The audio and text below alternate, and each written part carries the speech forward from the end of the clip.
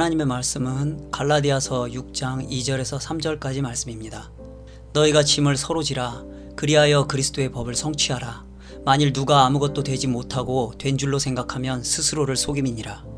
신자든지 불신자든지 교회를 생각하면 떠오르는 단어 중 첫째는 단연코 사랑일 겁니다. 그 말을 하는 의도나 이유는 어쨌든지 교회는 당연히 사랑이 있어야 한다는 말을 쉽게 하죠. 틀린 말 아닙니다. 교회는 사랑의 공동체예요. 하나님의 사랑을 깨달은 사람들이 서로 사랑하기에 이른 공동체가 바로 교회죠. 그리고 우리 주님께서 주신 단 하나의 계명 또한 서로 사랑하라는 말씀입니다. 하지만 사랑하라고 말해도 무엇이 성경에서 말하는 사랑인지 묻고자 하면 답이 쉽지 않습니다. 그리고 무엇이라고 정의하는 것보다 더 중요한 것은 어떻게를 아는 것이죠. 수많은 미디어와 유행가 속에서 많이 사용되는 사랑이라는 말은 거의 대부분이 그리스어의 에로스입니다. 이것은 남녀 간의 사랑을 의미하는 말로 사실 성경에서는 이 단어는 언급도 되지 않아요. 그렇다고 남녀 간의 사랑을 필요 없다거나 의미 없다고 하는 것은 아닙니다. 그것은 하나님의 깊은 뜻에서 이루어진 창조 질서이며 하나님의 선물이에요. 그러나 주님이 우리에게 명하신 사랑하라는 의미는 그것이 아닙니다.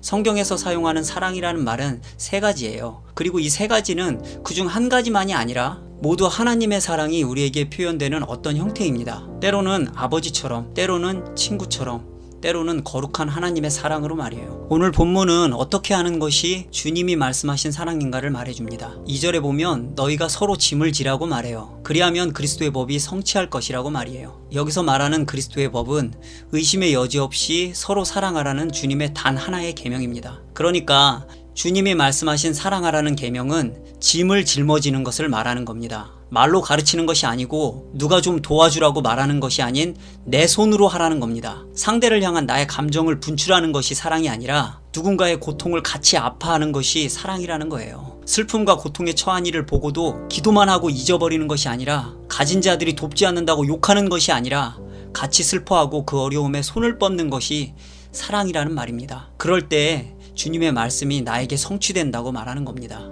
예수께서는 강도당한 자의 비유에서 어떤 사람이 이웃이고 어떤 것이 사랑하는 것인지 명확하게 말씀하세요. 그 비유에서 주의 말씀을 성취한 자는 레위인도 제사장도 아닌 상종도 하지 않던 사마리아 사람이었습니다.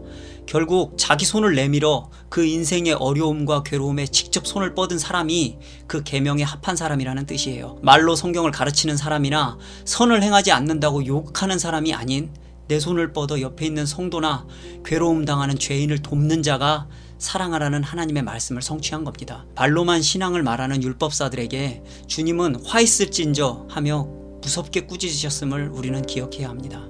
오늘 이 말씀을 듣고도 다른 누군가를 생각한다면 지금 당신은 빗나가고 있는 겁니다. 스스로를 속이지 말아야 합니다.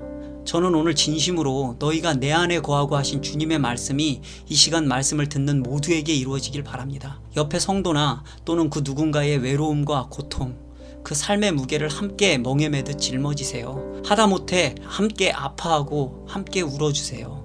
그것이 주님이 명하신 하나의 법을 성취하는 유일한 길입니다. 그러면 그리스도께서 말씀하신 너희가 내 안에 거하고 하신 말씀이 성취될 겁니다. 그리고 비로소 그 뒤에 따라오는 각양 좋은 주님의 약속이 내게서 이루어질 것을 믿으시는 성도 여러분 되시길 바랍니다.